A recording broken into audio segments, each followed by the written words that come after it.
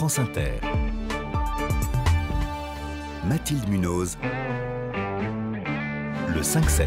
Il est 6h20. Le procès des attentats de janvier 2015 doit reprendre ce matin après trois semaines de suspension. Mais le principal accusé, Ali Rizapola, est toujours malade. Il a contracté le coronavirus et présente des troubles digestifs. Le ministre de la Justice a donc fait passer une ordonnance taillée sur mesure pour qu'il puisse comparaître par visioconférence. Les avocats de la défense sont furieux et ils ne sont pas les seuls à s'insurger. Bonjour Samia Maktouf. Bonjour. Vous, vous êtes du côté des partis civils. Et vous aussi, ça vous choque? Oui, tout à fait. C'est justement parce que un certain nombre d'avocats des partis civils sont extrêmement respectueux de l'état de droit en permanence et non d'exception, qu'ils considèrent, je considère personnellement, la comparution en personne de l'accusé principal. Je rappelle qu'il encourt la réclusion criminelle à perpétuité, que sa présence est indispensable parce que sa présence euh, sa comparution en personne est indispensable parce qu'elle répond aux principes fondamentaux de nos droits, aux principes du respect de la dignité de chaque accusé. Et euh, cette euh, présence en personne, nous la devons également aux victimes. Parce que ces victimes qui, depuis cinq longues années, attendent ce procès, ils s'attendent aussi à avoir un verdict exemplaire. Exemplaire de toute euh, violation et en tout cas de toute euh, éventuelle entorse au droit. C'est pourquoi c'est extrêmement important et euh, cette ordonnance du 18 novembre 2020, qui est une, une, ordonnance d'opportunité, puisqu'elle a été taillée à ce procès, ce procès qui a déjà commencé le 2 septembre, euh, donc on, essaye de modifier en cours du procès les règles. C'est pourquoi nous, en tout cas en tant qu'avocate de, partie civile, euh, je suis choquée. Alors je voudrais revenir parce que vous avez abordé là différents points. Euh, d'abord, on est d'accord que les débats sont terminés. L'heure est, à la est aux plaidoiries. Donc directement, lui, l'accusé, il n'intervient plus. Alors justement, c'est bien ça le, problème, c'est que oui, les débats ont, bien eu lieu. En revanche, il est faux de dire que l'accusé euh, ou n'importe autre accusé n'est plus susceptible d'intervenir. C'est faux parce que le, dernier mot appartient à l'accusé. Et ce dernier mot qu'il va prononcer devant les victimes, il va être imprégné de tout ce qu'il aura entendu de notre bouche, partie civile, de, de, la bouche des avocats euh, généraux. Mais il va vous entendre juste à, à travers une caméra. Oui, mais d'abord, attendez, madame. Euh, est-ce que M. Monsieur Polat est en état son état de santé est compatible avec une comparution en personne ou ne l'est pas? Il y a un médecin qui va l'examiner normalement justement, ce matin. Alors s'il est euh, si, cette, euh, si cet accusé n'est pas en mesure d'assister, que ça soit dans un box ou dans un, euh, face à une caméra à côté des toilettes, ce n'est pas compatible. Et, nous, nous avons besoin, en tant qu'avocat de partie civile, nos demandes sont différentes. Si vous vous permettez, je voudrais pointer cela. Des demandes des, des, des, des avocats de la défense, mais nous nous rejoignons sur le strict respect d'un principe, euh, d'un procès équitable, le, euh, nous avons des choses à dire aux accusés, non seulement à, à cet accusé, mais à l'ensemble des accusés.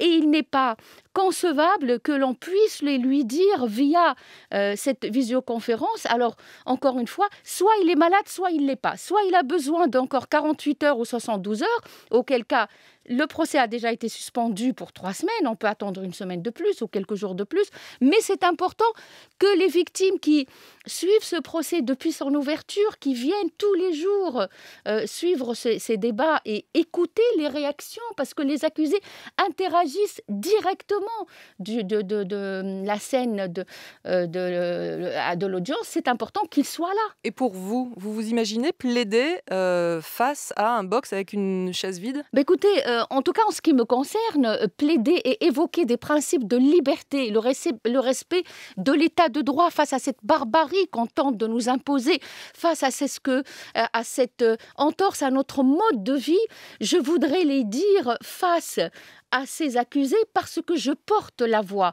euh, de, la partie civile que je défends et c'est important qu'ils soient non pas euh, ailleurs face à une une télé, mais en face. Vous allez refuser de plaider Certains de vos collègues l'envisagent bah, écoutez, euh, aujourd'hui, nous avons une audience. Moi, je, je n'ai pas de position de principe.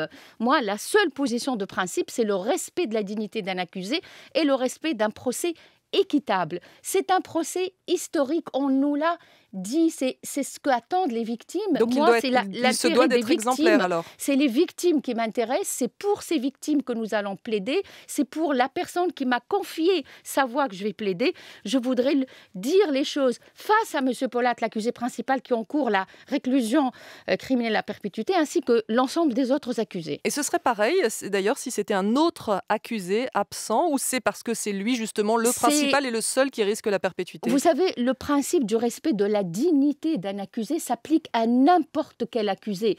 Aujourd'hui, c'est, euh, ça concerne euh, l'accusé principal, mais rien ne, n'empêche, j'espère que ça ne sera pas le cas, mais euh, vu les circonstances d'exception, il est, de, de, circonstances, il est possible qu'un des autres accusés le soit. Donc, nous avons fait un très bon chemin, nous avons, tout s'est très bien déroulé jusqu'ici. C'est bien de bien finir ce procès pour l'histoire. C'est le ministère de la Justice qui a pris cette ordonnance. Ça vous surprend qu'Éric Dupont-Moretti, qui est lui-même célèbre avocat pénaliste, ait pu signer une telle ordonnance? Bah, Écoutez, je crois que la politique a pris le dessus sur l'avocat.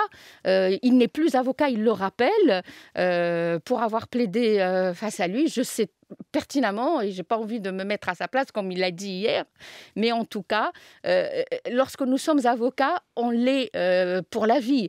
Et je suis surprise que des, euh, des, des, des, circonstances d'opportunité soient prises à la hâte pour un procès en cours où on tente de modifier les règles de procédure en cours de procès. Une dernière question, Samia Maktouf. C'est compliqué de reprendre un tel procès après trois semaines d'interruption, là, en dehors des circonstances dont on vient de parler, un visioconférence ou pas, est-ce que c'est de toute façon compliqué? Est-ce que ça a cassé une certaine dynamique?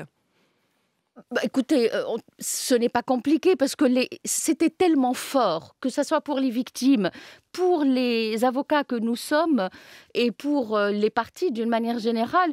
Je, ne pense pas qu'on ait perdu euh, un seul mot de ce qui a été dit par l'ensemble des accusés. en tout cas, moi, je suis prête à plaider aussitôt que ces questions seront soulevées est, réglé. Nous, avons, nous allons aujourd'hui soulever cet incident euh, avec le, président et avec l'entière cour. J'espère qu'on pourra reprendre rapidement. Euh, je voudrais juste dire, rappeler que personne n'encourra le risque euh, de voir ces accusés libres.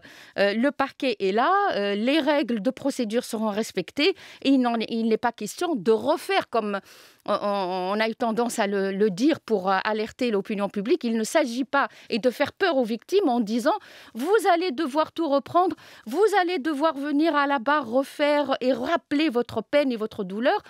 Nous sommes en état de droit susceptibles de régler cette, euh, cette question de, de procédure dans le respect de notre état de droit convenablement. Merci beaucoup, Samia Maktouf, d'être venue à France Inter ce matin. Vous étiez l'invité du 5-7.